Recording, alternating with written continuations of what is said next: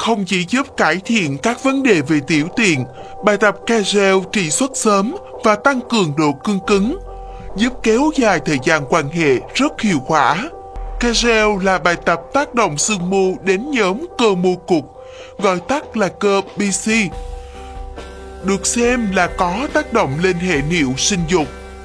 Nhiều bằng chứng khoa học cho thấy Kegel mang đến nhiều lợi ích như tăng cường sự cương cứng cả về thời gian lẫn chất lượng, phục hồi chức năng trong các trường hợp rối loạn cương dương, tăng lưu lượng máu đến vùng sinh dục, giúp tăng độ nhạy cảm ở cậu nhỏ, giúp gia tăng khoái cảm, giúp giải quyết vấn đề xuất tinh sớm nhờ sự kiểm soát tốt hơn sự hoạt động của nhóm cơ vùng chậu. Xuất tinh nhiều và mạnh hơn. Một người đàn ông áp dụng cây sơ cho biết, lúc đầu cậu nhỏ của anh chỉ xuống sau khi xuất tinh, nhưng sau một thời gian tập kê reo, cậu bé sau xuất tinh vẫn dừng lên được. Trên thực tế, nhiều nam giới đã thử tập kê reo để cải thiện đời sống tình dục và nhận thấy bài tập này mang lại tác dụng rõ rệt hơn so với việc thay đổi lối sinh hoạt. Không bó buộc thời gian cũng như nơi tập, bạn có thể tập kè rèo mọi lúc mọi nơi, ở mọi tư thế mà không cần sự hỗ trợ của bất cứ dụng cụ nào. Tuy nhiên, để đạt được hiệu quả cao, thì bạn cần xác định thật chính xác nhóm cơ mô cục. Xác định nhóm cơ mô cục để biết chính xác cơ BC ở đâu, hãy làm theo hướng dẫn sau.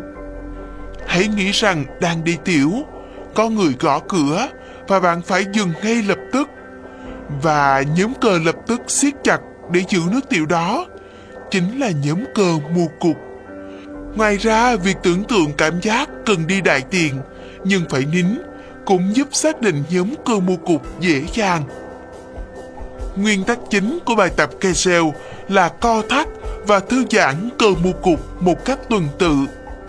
Nếu mới tập, hãy thử lần lượt trong một giây, 3 giây, 8 giây. Và khi thành thạo rồi, có thể kéo dài tùy khả năng. Nhưng toàn bộ quá trình chỉ giới hạn không nên quá 2 phút. Cách thực hiện Bước 1. Làm ấm siết chặt cơ mô cục trong 3 giây, sau đó thả lỏng 3 giây, rồi siết lại. Điều khiển quá trình này bằng trí não. Lặp lại như vậy 4 lần, rồi nghỉ 10 giây và chuyển sang bước 2. Bước 2. Tăng tốc. siết chặt cơ mô cục 1 giây, sau đó thả lỏng một giây và siết lại. Lặp lại như thế 10 lần, rồi nghỉ 10 giây mới chuyển sang bước 3. Bước 3. Củng cố siết chặt cơ mô cục trong 8 giây, sau đó thả lỏng 4 giây, rồi siết lại, lặp lại 4 lần